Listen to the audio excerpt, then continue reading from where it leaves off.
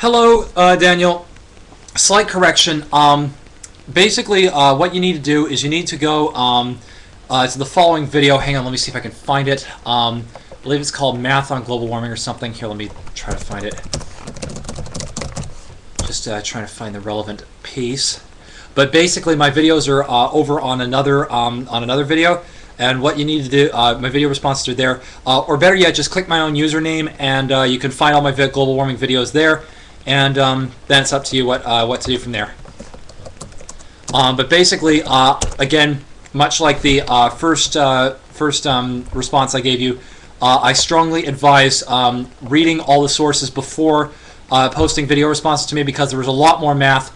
Um, simple math, such as what you were just using there, um, doesn't doesn't cover in all the formulas necessary to understand. let me see. Here it is. Do the math on global warming is the video you're looking for. Um, my responses are global warming, a look into the science behind it, that sort of thing. See ya.